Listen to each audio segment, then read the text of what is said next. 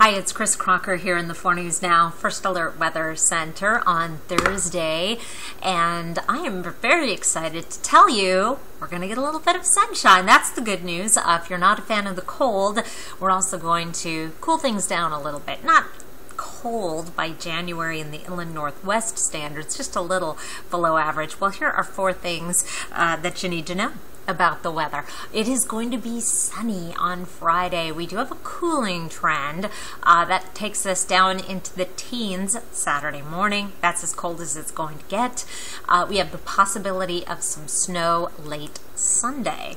Here's a look at our satellite and radar. And we did have a little bit of very light snow down on the Palouse and the LC Valley uh, today. A little bit of rain mixing in too. That is going to be coming to an end later this evening, and we will be dry overnight clearing skies overnight as well. Kind of slow to clear from the Palouse and the LC Valley. Here's our computer model forecast. 8 o'clock tomorrow morning, still hanging on to some fog and low clouds, but then we begin clearing uh, more substantially and we're all going to get some sunshine on Saturday. Here's a look at our upper level winds, and you'll notice we're getting into a northerly flow.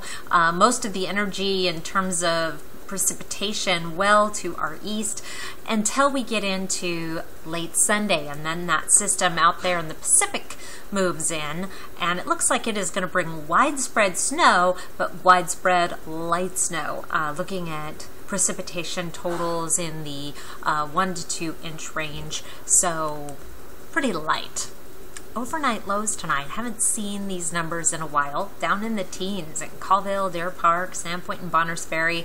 We'll be in the lower to mid 20s around Spokane and Coeur d'Alene with high temperatures tomorrow just a little bit below average. And then we get even further below average for Saturday. Again, that is when our cooling trend uh, bottoms out at 30. But we don't really warm up that much through the forecast. Uh, those temperatures in the lower 30s, more typical of early January than late January.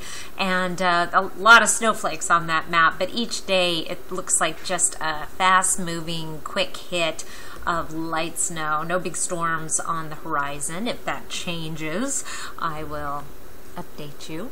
Um, in the meantime, enjoy some sun. I don't even think people are really going to notice that it's cooled down on Friday and Saturday because of the sunshine. Just sort of makes everything seem so much uh, more pleasant. Might notice it on Sunday when the clouds move in. But uh, in the meantime, I'll see you back here tomorrow or tonight on 4 News Now Nightside at 11 o'clock. Thanks for watching.